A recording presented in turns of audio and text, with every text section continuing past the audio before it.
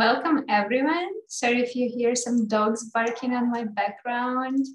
Um, yeah, we are going to start our first time uh, student research presentations. We have two student presenters uh, who are really excited to share with you uh, their research. So make sure, um, I encourage you to introduce yourself in the chat so we know who we have present. Tell us uh, what college you're attending, where you are uh, right now. Um, and so our first student presenter is Kosivi Mawa. He's from CUNY, Borough of Manhattan Community College, and he will be presenting in mathematics discipline. So Kasivi, I give the floor to you. I will stop sharing my screen and you're free to share yours. All right, good afternoon, everyone. Thank you so much for this opportunity. And I thank you for the organizer for this um, platform. Uh, I wasn't really sure that if how should how should I start because uh, my main uh, focus, of course, is STEM, but um, my main major was so, to be uh, civil engineering. But uh, during the beginning of um, this research, I was taking like uh, linear algebra, and then my professor proposed me to do this research, which is really related to a CUNY research program because I live in New York, in Queens, in so that's basically city uh, CUNY's program. So then uh, that's my first time attending this also this uh, platform. I wasn't expecting also to present uh, this program, but anyways, long story short, I'm here, and thank you for having me. and then I will start sharing. I'm doing a presentation on fractal dimension, and uh, I'm not a mathematician. And uh, again, I wasn't expecting to really do this research, but my professor proposed me and then I was selected. And I'm do, I will doing this presentation also during summer as well. And uh, the title of this project is fractal dimension. And uh, most of my friends in class, when we talk about fractal dimension, say, what is fractal dimension? and then most of the question is like, oh, simple way to explain fractal dimension is like, we know how to calculate like area of a square, right? But how do we calculate a, a, an area of a cloud or something like have irregular shape? So then we need to break them down small pieces. So, and then that's basically what that means fractal dimension. And uh, the focus of um, uh, this fractal dimension we focusing is a butterfly wings. And the butterfly, why do we choose butterfly? Because butterfly, especially the monarch butterfly, is kind of a rare species right now from some friend who's studying environment. I think they know more about that. Um, again, I'm not like kind of quote unquote an expert in environment and all those stuff, but it's kind of a great uh, project. And uh, yeah, so the, in, in the introduction, we would like to investigate the butterfly wings pattern and uh, we took a ruler and then we can really measure, but we need to break down small pieces to really identify the area of each area of the butterfly wings.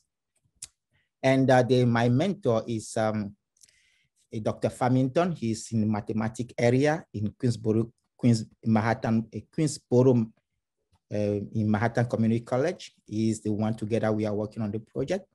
And uh, his focus on uh, this French mathematician is called Mandel, right, in 1977, was able to came with the word fractal dimension. Long story short, eh, we we go to what's the purpose of this, right? We would like to collect. We did he did the multiple uh, experiment on this butterfly, like swallowtail, all those stuff, the variant of butterfly. But him and I was focusing on butterfly monarch butterfly that he raised himself. He collected the eggs near our campus, like our school area, and then he raised them And during COVID, that was his time to really expand on that. So we able to analyze and we use um, the original picture that he took that you can say that those are the original butterfly. And then we took it, we put it on the stencil maker. And with stencil maker, we was able to clean it out and we put on Photoshop to have this. And we put on the MATLAB. And the MATLAB, that's what I was using. Uh, and to really up to, to pull up the average, like to pull up the, the fractal dimension number that we have for the male, as you can see on that area. And then on the female that you can see on that area. And when we put everything on Excel, we count the average is a 1.5. We know for sure that there is not gonna be a significant difference between the male and female. But uh, the although if we collect like a million, like 10,000 or whatever of uh, a, a, butterfly male and wings, we see that there is no a big difference among those uh, butterfly, right? Like the male and female. But they, it's interesting to know that among those butterfly wings, there is a something that there is a, based on MATLAB, we can really able to identify how to calculate the area. I think that's what was basically amazing stuff that we was able to pull out from that. And um, don't want to take too much of the time. I will really stop there. And then if you have any question, maybe we discuss after my, uh, after Jackie pass away. So then I think Jackie has more to share than I have, so I don't want to take too much of the time. And my stuff is kind of short again, and then thank you so much for this opportunity. So Jackie, you can take it away. If you have any question, maybe I will take it later on. Maybe. All right, thank you.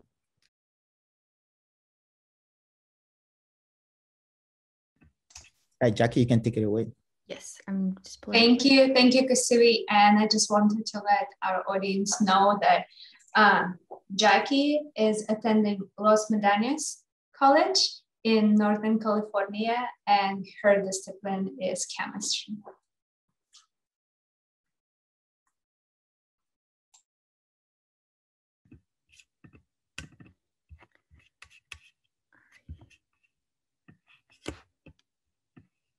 Can everyone see my slides? Is that good? Yes. Thank you. I'm gonna minimize this and then get started. Good morning, everyone, or afternoon, uh, whatever time zone you're living in. Um, my name is Jacqueline Villalobos from Los Medanos College, and today I'll be going along this journey with you all about learning about my research project and addressing a big question. Can grape stems be used to treat contaminated water? In the next 10 minutes, we'll determine if grape stems, also known as grape panicles, are our low cost and friendly bio, eco-friendly bioabsorbent for water treatment. So let's dive right into it. Uh, by first sharing that neighborhoods and cities everywhere in the US are facing a high risk of heavy metal contamination. And this pollution is existing all across America. This heat map seen before you was published by the Washington State Department of Health, which you can see different reporting state by state of heavy metal poisoning, one being less at risk and 10 being in danger.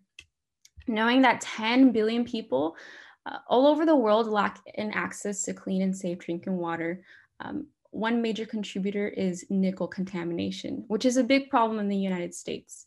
It's an ongoing problem that can be traced back to pipings, fittings, batteries, household appliances. And if we consume this nickel, um, we could result into major health complications, not only impacting you and me, but our loved ones.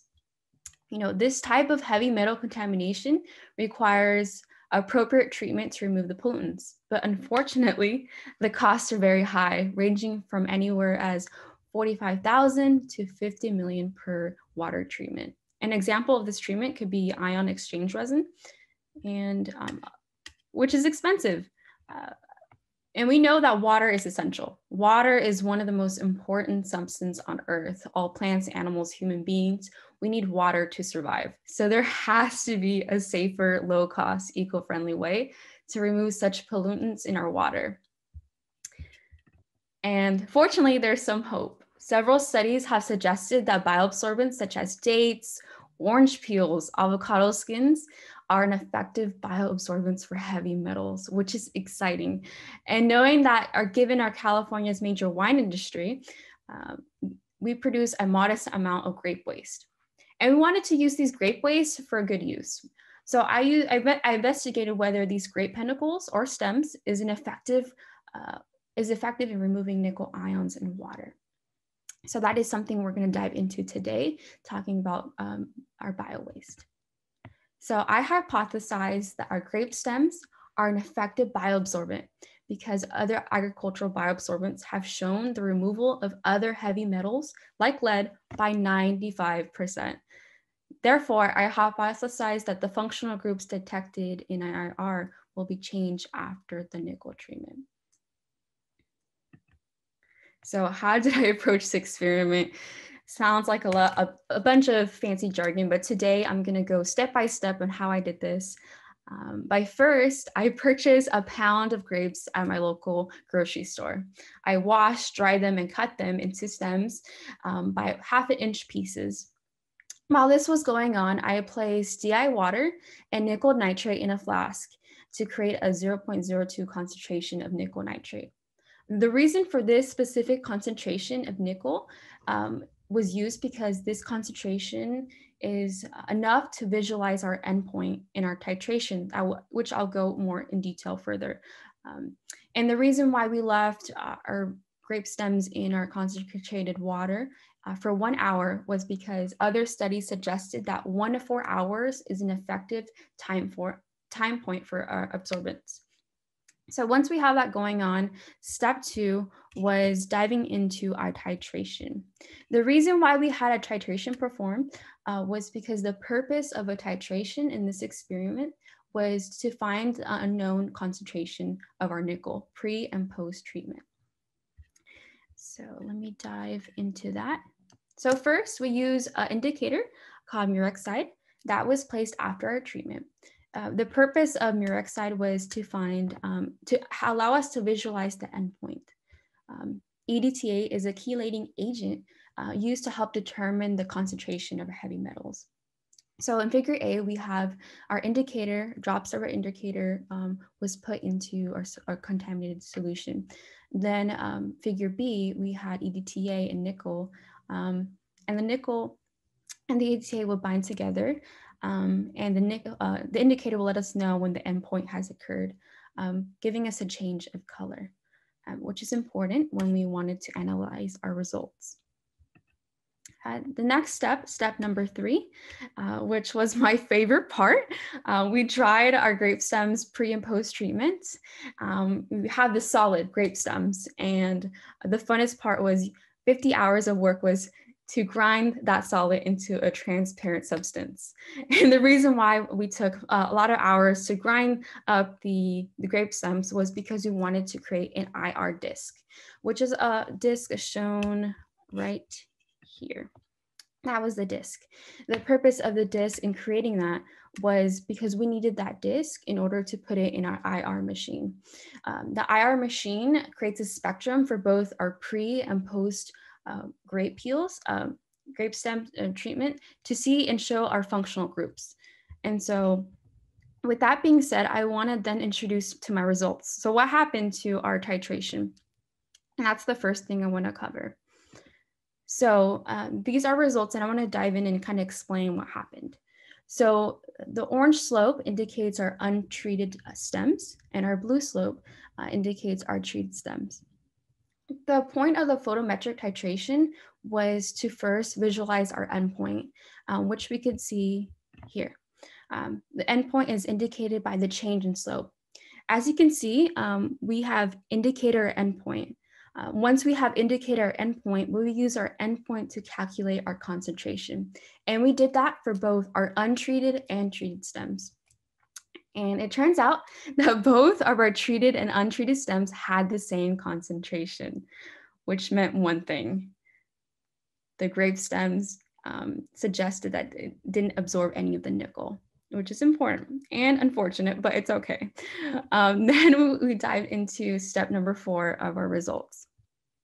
Um, before I dive into step four, my results, I want to first mention um, a little bit about the most common macromolecules in uh, most stems, plant stems. Um, so the chemical composition of most common macromolecules found in our surface of plant stem are cellulose and hemicellulose. Those are two common macromolecules. And what we wanted to do is look even further um, and look at their functional groups. And so these are the two functional groups we're looking at and want to look at at IRR, which is a OH hydroxyl group and a carbonyl group. And that's something we wanted to analyze if it was present in our, our, results. Um, so these are my IR results. Um, for those who don't know what IR um, is, or it's a meter that um, induces radiation and excites the molecules. So it gets the, the molecules really excited um, and it generates a spectrum of energy absorbed by the molecule and allows a wavelength of light to hit and which will help us determine the functional groups. And so the blue graph here um, is the, the results for the IR for the pre-nickel treatment, and the, um, the green is the post-nickel treatment. And so uh, with that being said, we found both of our functional groups. We found the hydroxyl group and the carbonyl group. Um, one thing I like to point out is that both of the same common um, functional groups were found pre and post treatments, meaning the composition of of bondage is the same. So nothing really changed um, in the anatomical level. So results, Jackie has spoken for the past 10 minutes. So what happened?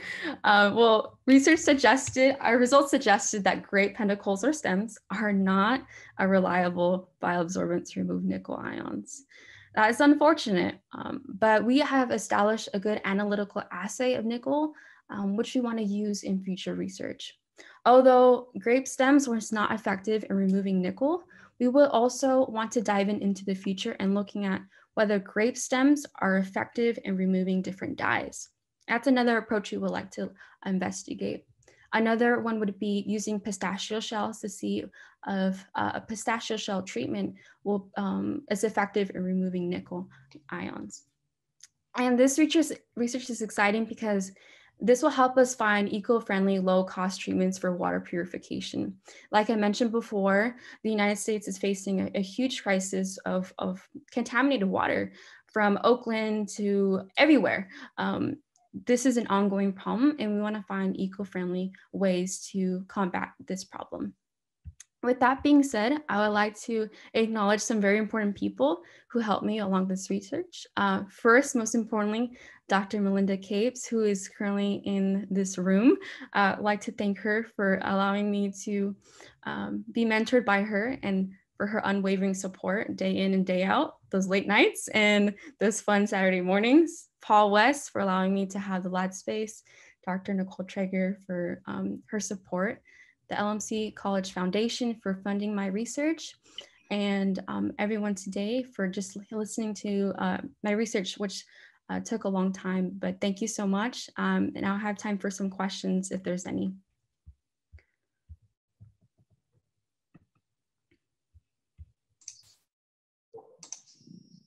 Thank you, Jackie and Kasivi, so much for presenting. We do have one question. Uh, it's to, for Jackie. What made you pick grapes for your research? That's a great question. Uh, the reason why we picked grapes is because California is known for the great wine industry. So there's grapes everywhere for wine. So we wanted to use this bio waste for good. And so that is the reason why we chose grape stems. Uh, could both of you um, mention uh, to our attendees, how did you get in the research? as we know, not many uh, students are participating in the research at the community college level. So we would like to hear your journey, your experience.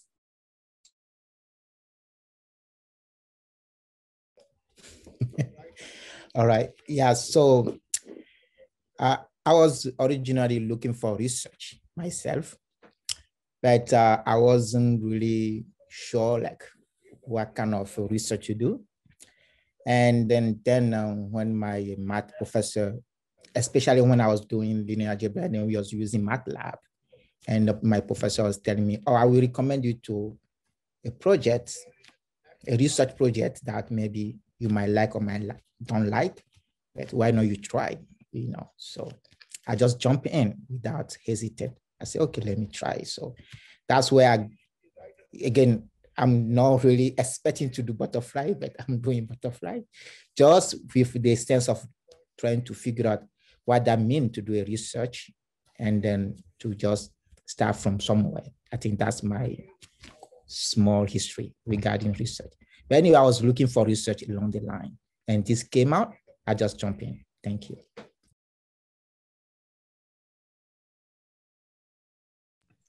Thank you, Kasiri. Jackie, could you share your experience? So I've always been interested in research and wanted to find a way to kind of tap into my curiosity. I know attending a community college, there's a lack of funding. I'm fortunate that uh, Dr. Capes, who's in the room, uh, shout out to her, and uh, the college, uh, Los Medanos College, they had um, were able to fund some research projects, and so um, I was able to just kind of talk to my mentor and show uh, interest in what I wanted to do and have that experience. So I think all it took was speaking out and showing interest and um, having people advocate for you in order for you to have the space and the resources to um, do your research. So I highly encourage everyone who's interested in uh, tapping into a question to, to pursue that um, and to not be discouraged if um, funding is, is a lack of uh, a resource. Thank you so much, Jackie, for sharing. We have one more presentation uh, for today. Uh, so we have one student, Savannah Rendell. She's joining us from Texas. She's currently attending uh, South Plains College and she studies biology sciences. Uh, Savannah, you can go, uh, you can turn on your video and if you like, you can share your screen.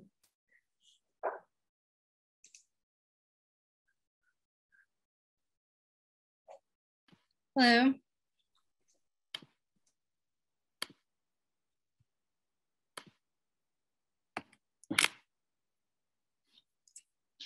Uh, can everyone see the screen? Yes. Right, like she mentioned, my name is Savannah Randall and oh, what's going on?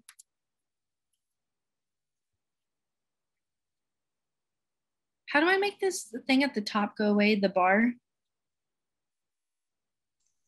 You can click on slideshow and then um, start from the beginning. Play from start. Right, so my presentations over dew, wing morphometrics, and pigmentation vary with geographic isolation and examination of canyon ruby spots in the southwestern US. So my introduction is body size and coloration are signals used by males to attract mates and ward off rivals.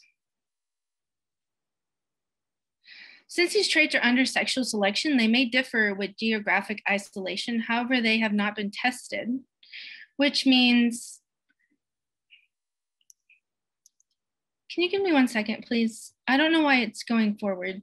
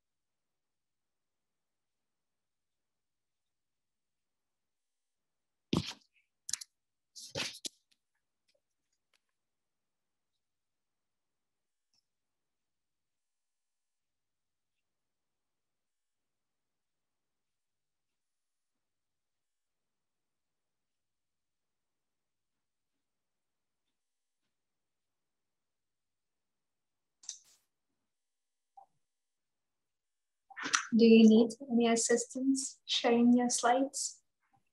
Um, so this, I made I made it with my mentor, and it has narrations on it, but it's um, it's skipping. So I'm trying to read it, and it's playing, but it shouldn't be doing that because I rehearsed it, and it wasn't doing that, and I don't know why it's doing it.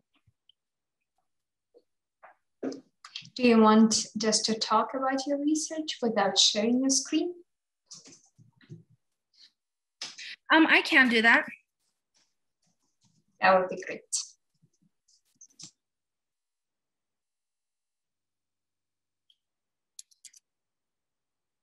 I think I fixed it.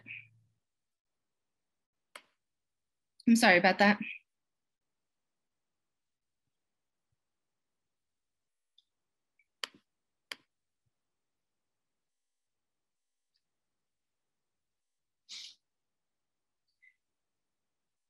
Um, the reason why this uh, research is so important is because canyon ruby spots are aquatic organisms, and with the climate changing, we're looking at sexual selection rather than um, just other selections.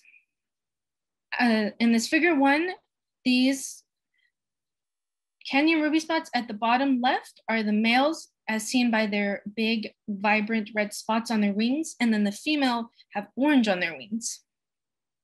Wing size, red spot size, and spot chromaticity, hue, and saturation is the main focus of the research uh, for the males to see if they do truly use their spots for sexual selection. We compared these traits across Sky Islands, and our objective was to determine whether there were differences that reflected population isolation. In our predictions, we expect that traits under survival selection, like the wing size and shape, do not differ across sites. And we expect that the traits under sexual selection, like wing spot and color, to differ across sites. I made this topographic map of all the sites that we went to. We went to Utah, Arizona, and New Mexico to collect the canyon ruby spots.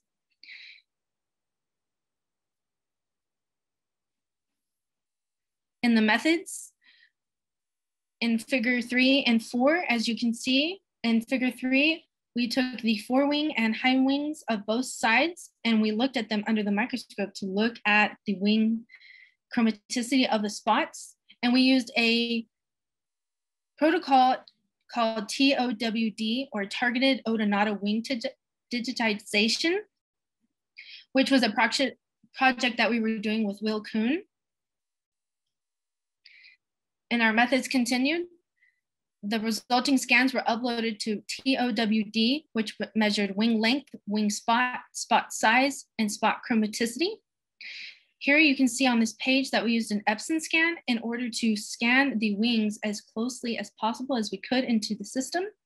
If you see this note card right here where it has the information, the information shows where they were found, the day they were found, and they're categorized by a color and a number to keep them in order.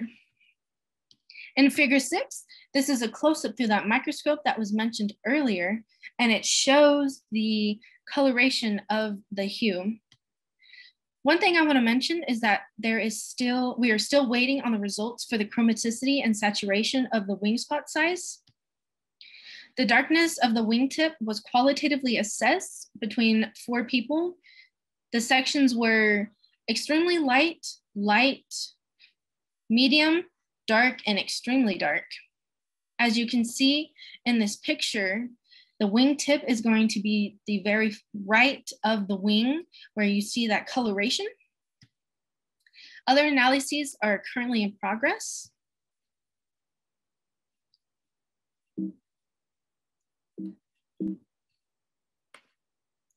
In this, the methods continued. I color coded the outer length and width to show the apex ratio, the outer length and width, and the inner length and width. And in the widest ratio, this orange and this tip angle shows what was used on the scanner, what we were mainly looking for. On this page in the results, this is what is known as a correlation plot. If you see these dark blue dots that go down the middle, this is the set standard for, you could say the area of the forewing to the area of the forewing on both sides. That means that these are directly proportional to each other. And as one gets bigger, the other one gets bigger. So the one is the most direct, directly proportional. The net closer to negative one, it is negatively correlated or it's inversely proportional. And if it's zero or in this white boxes, that means they're uncorrelated. So if a forewing was to get bigger, that doesn't mean that the hind wing will get bigger, which makes them uncorrelated. On this page, I have I did a box plot, box and whiskers. Whenever box plots overlap each other, it means that what we're looking for is so closely related that there's not much result to it. So as we expected with the wing size and shape, that they did not differ across sites since we were looking for sexual selection instead of survival. The boxes are also the 25 to 75% where that coloration is, and then the whiskers are the 95%, which makes up that portion. The dots are also the outliers, which you can call the anomalies, which are the ones that don't really fit inside the box. On this page, as it was mentioned earlier, when we did the assessment of the wingtip and Coconino, which was in Arizona, there was almost no differentiation of the color. They were very, very light. And in Santa Fe, New Mexico, the wingtip was very dark, which was very interesting to see throughout the Sky Islands. In conclusion, as we predicted, measures of wing size and shape did not differ across the sites. We're still waiting on the wing spot and chromaticity, like early, I mentioned earlier. The wingtip darkness does appear to differ by site, and it's still a work in progress. Like I mentioned earlier, the Sky Islands were in a wetter and milder climate approximately 15,000 years ago. And the reason it's so important to look at the sexual selection is if the climate does continue to get warm, hotter and drier, this, the aquatic organisms will fail to reproduce, which may make them obsolete. The climate change projections indicate a drier and hotter future for this region, which may further isolate populations of these organisms. Increased climate-driven isolation should generate differences in population over time. Changes seen in canyon ruby spots will be visible signal signals of climate change. And here's my acknowledgements page. Thank you. Thank you so much, Savannah. Have a quick question to you, and I asked your predecessors before. Can you share with us, with the audience, how did you get into the research? So as you could have seen on my acknowledgements page, I am in a program with South Plains College, and I was given the opportunity to work at the College of uh, Texas Tech University. And I am working under a mentor. Her name is Dr. McIntyre. And I am just so in love with the program that I was put in. And my research is stemming off, uh, I believe he's a graduate student. He's getting his master's with this. And he did the genetic makeup of the canyon ruby spots, and I am doing the phenotypic. So he's doing the genotype, and I'm doing the phenotype. And there's actually a lot of differences between the canyon ruby spots in their genetics, as well as in their coloration and their spot size and their other characteristics. That's amazing. Thank you for sharing. If any attendees have questions, feel free to submit them in the chat to any of our presenters we are accepting questions now. But um, if until any question comes up, thank you again, Kasiwi, Jackie, Savannah, for presenting this morning. Uh, for all current community college students, if you want to present your research, at the national setting, we invite you to submit your abstracts for the SACNAS National Conference, uh, for the SACNAS National Diversity in STEM Conference that is scheduled for this October uh, 28th and 30th. If you want to know more information about this opportunity, uh, feel free to email me. And so we also have uh, um, we will be offering uh, travel scholarships to attend the conference. And so if you're a current community college student, you're all eligible to apply for travel scholarship, for research presentation. And that's something what you heard today, our students presenting. Uh, you can also do at the national uh, SACNAS conference with the audience uh, uh, around 5,000 people. And again, it's a national event, so people come from across the country.